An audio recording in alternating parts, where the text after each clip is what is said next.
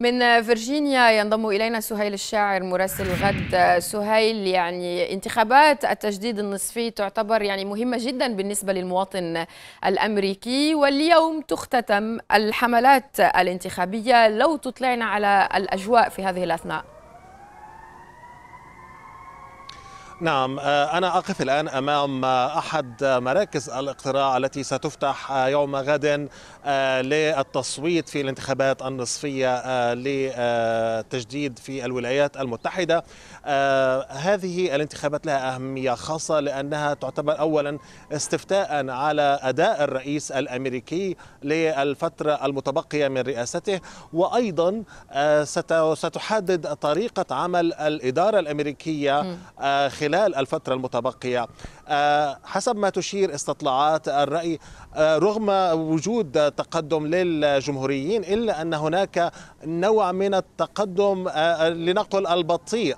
للديمقراطيين أيضا في الاستطلاعات الأخيرة. وبدأ هناك المزيد من الزخم في صفوف الديمقراطيين من أجل التصويت لمرشحيهم.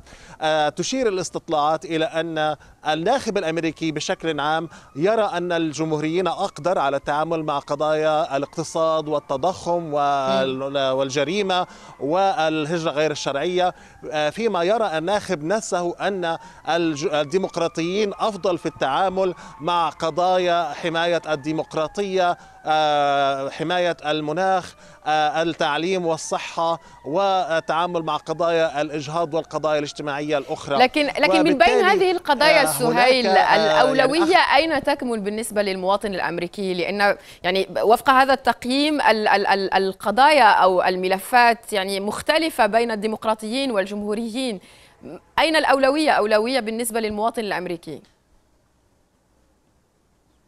بشكل عام الغالبية من الأمريكيين يرون أن الأولوية للاقتصاد لأن هذا يمسهم بشكل شخصي هذا يمس جيوبهم يمس الدخل الذي يدخل عليهم فبالتالي الاقتصاد هو الأولوية الأولى.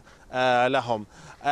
ولذلك يعني فيما يرى الغالبية كما ذكرت أن الجمهوريين أقدر على التعامل مع قضايا الاقتصاد والتضخم.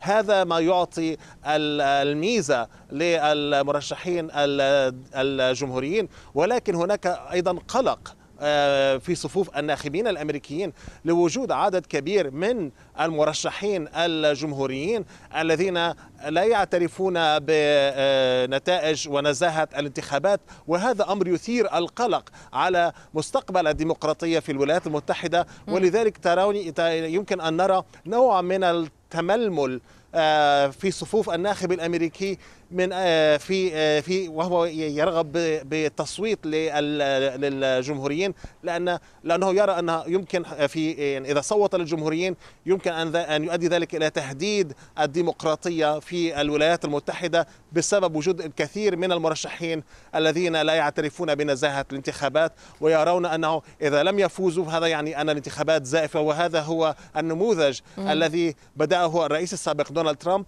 وسوف يسير على نهجه الكثير من المرشحين حوالي 300 مرشح في هذه الانتخابات يسيرون على نفس النهج الذي بدأه الرئيس السابق دونالد ترامب في انتخابات عام 2020 سهيل الشاعر مراسل غد كنت معنا من فيرجينيا شكرا لك